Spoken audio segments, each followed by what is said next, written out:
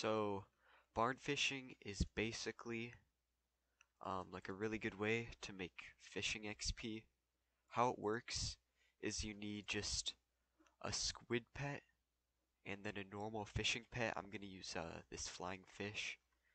So you you come to the barn right here and go to this island without using the teleport pad. So just get on this like gray thing.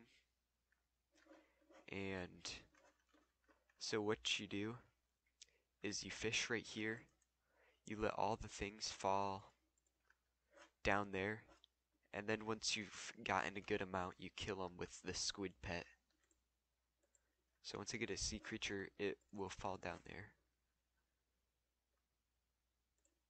Yeah it's just gonna fall down there uh, wait three minutes until you kill them all because that's when they despawn. Uh, somebody just just killed all my sea creatures.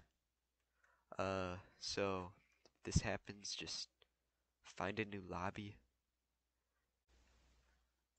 Alright, so after you've got a good lump sum of guys, of sea creatures, you're gonna want to switch to your squid pet.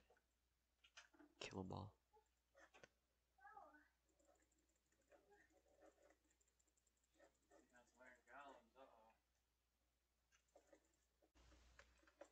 Alright, I'm just gonna do it again.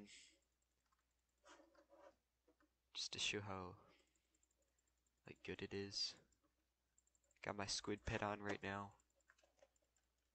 And yeah, good XP. It feels like it's been three minutes. So I'm just gonna kill them all again.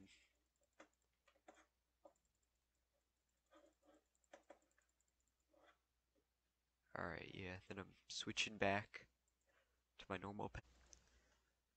Yeah, this is my last bait and my last like round of killing everything. So I, I really think barn fishing is better than normal.